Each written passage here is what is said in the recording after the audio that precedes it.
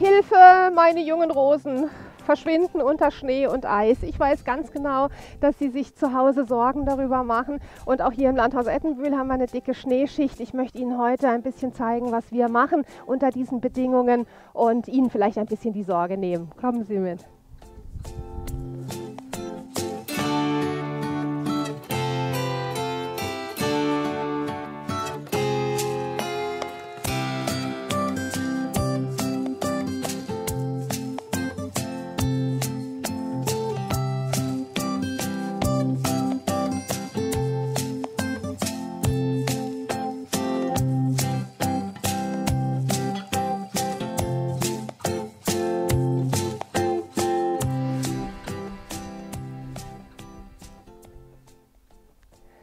Normalerweise im Winter würde ich jetzt bei solchen Bedingungen sagen, gehen Sie ruhig mal raus und schütteln Sie Ihre Rosen schön ab, einfach mit einem Bambusstock, damit der Schnee da nicht so äh, schwer drauf liegt.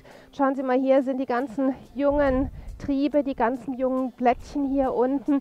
Im Moment würde ich Ihnen raten, lassen Sie den Schnee einfach drauf. Der dient im Prinzip tatsächlich als Frostschutz. Das ist ein schöner, eine schöne Haube, damit die Nachtfröste, die Tiefen jetzt da nicht so ins junge Laub rein äh, frieren. Und von daher lassen Sie das ruhig mal drauf. Und dann erst nächste Woche, wenn es dann eben anfängt zu tauen und ähm, die Nachtfröste eben nicht mehr angesagt sind, dann können Sie eigentlich hingehen und dann einfach mal kurz Ihre Rosen ausschütteln, so dass eben vom Tau nicht selber gemacht wurde. Und dann werden wir sehen, ob das Laub Schaden genommen hat, ob da was passiert ist jetzt von den Frösten oder ob wir glimpflich davongekommen sind.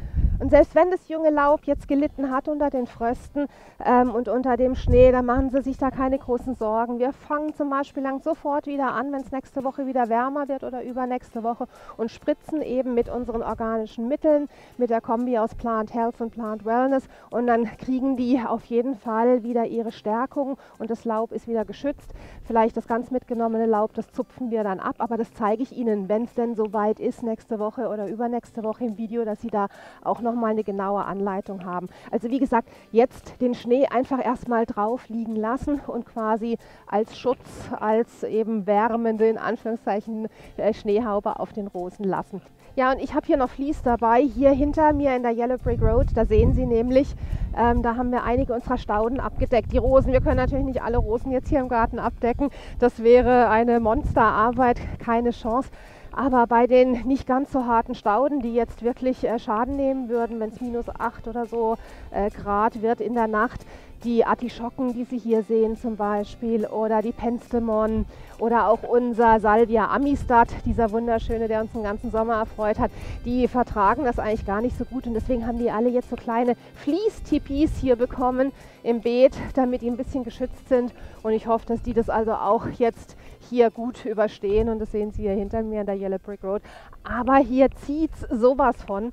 Ähm, wir hatten uns jetzt überlegt, was machen wir bei dem schlechten Wetter, um Sie auch ein bisschen aufzuheitern zu Hause und Ihnen so äh, die Freude, die Vorfreude auf danach, auf äh, nach diesem Wintereinbruch wieder zu geben. Und da haben wir uns gedacht, äh, wir sammeln so viele schöne Eindrücke aus dieser Woche, die unser Garten hergegeben hat, mit Blüten und schönem Wetter, was eben jetzt vor dem Wintereinbruch war. Und ähm, das zeigen wir Ihnen jetzt, um Sie auch zu Hause ein bisschen einfach damit zu erfreuen. Und später treffen wir uns dann danach gleich nochmal hier bei uns im Restaurant. Hier übrigens im Teegarten, der saß schon voll die ganzen äh, letzten ein, zwei Wochen. Da saßen die Leute und haben die Sonne genossen, als wäre es Sommer und jetzt eben nochmal ganz anders. Aber wie gesagt, jetzt erstmal viel Spaß mit den schönen Impressionen hier aus den Gärten. Und dann treffen wir uns gleich nochmal drin auf eine Tasse Tee im Restaurant. Ich stelle Ihnen noch ein sehr, sehr schönes Buch von John vor. thank you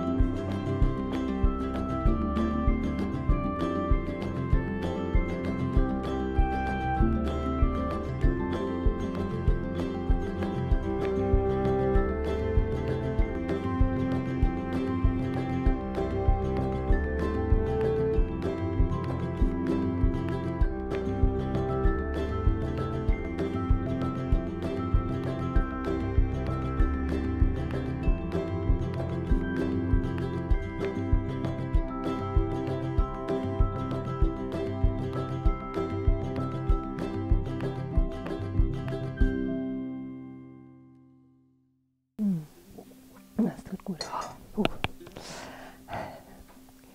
bedeutend besser hier drin, muss ich sagen, als da draußen. Es ist wirklich sowas von kalt und frostig. Ich meine, es ist ja normal um diese Jahreszeit, äh, dass es nicht irgendwie die ganze Zeit 20 Grad hat und es ist ja auch gut. Und ich meine, wir haben dringend den Regen auch gebraucht davor und das Wasser hier im Garten, es war ja schon unglaublich trocken.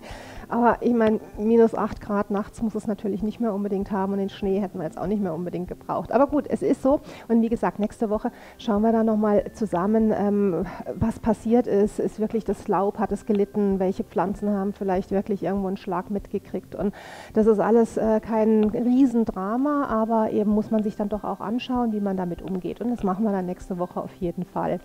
Und jetzt heute, wenn Sie sich auch noch bei diesem Wetter schön auf Ihr Sofa kuscheln wollen, ähm, schnappen Sie Ihre Gartenbücher und schmökern Sie, planen Sie einfach, was Sie demnächst in Ihrem Garten noch so anstellen können ein schönes Buch, das können Sie natürlich nicht unbedingt heute haben, aber das ich Ihnen gerne ans Herz legen möchte. Das ist eigentlich das Buch, mit dem hier bei uns alles im Landhaus Ettenbühl angefangen hat, das Gärtnern mit alten Rosen äh, von John Scarman. Über dieses Buch haben wir den John damals tatsächlich kennengelernt und er war dann ähm, ab 1998 im Prinzip voll in die ganze Entstehungsgeschichte des Landhaus Ettenbühl involviert. Ähm, schreiben Sie mir gerne mal unten in den Kasten, wenn Sie diese ganze Entstehungsgeschichte mal hören möchten, ob ich da mal ein Video drüber machen soll, wie das alles passiert ist. Auf jeden Fall, dieses Buch war der Ursprung. Ähm, der, es gab ganz viele Auflagen davon, für ein Gartenbuch übrigens unglaublich viele Auflagen. Zuletzt sah es jetzt dann so aus, es ist aber der gleiche Inhalt. Und ähm, ich liebe dieses Buch nach wie vor, weil es ist einfach John pur.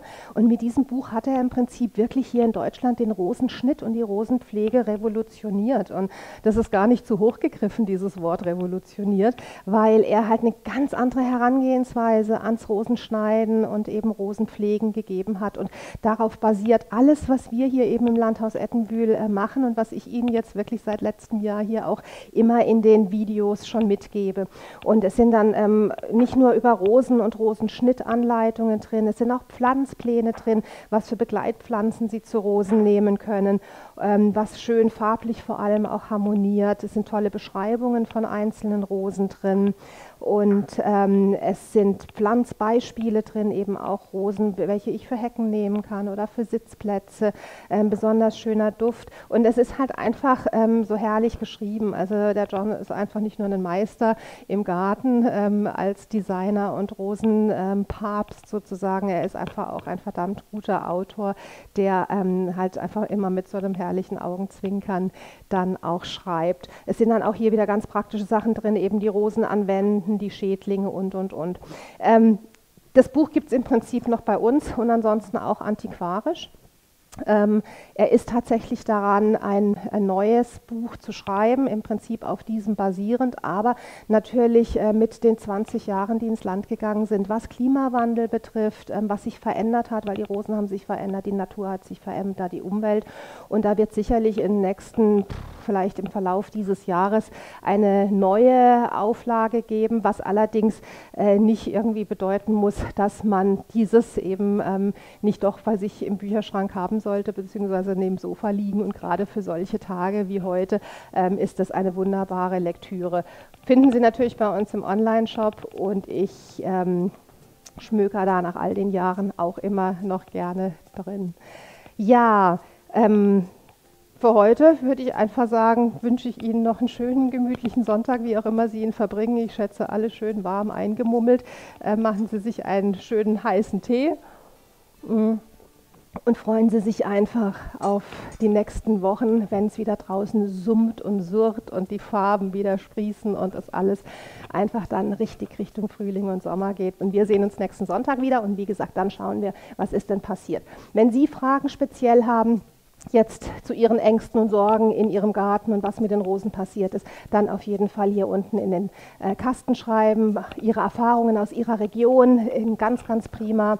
Und ähm, dann können wir alle daran auch teilhaben und davon profitieren. Also bis dahin, wünsche Ihnen einen super schönen Sonntag und dann bis nächste Woche. Tschüss.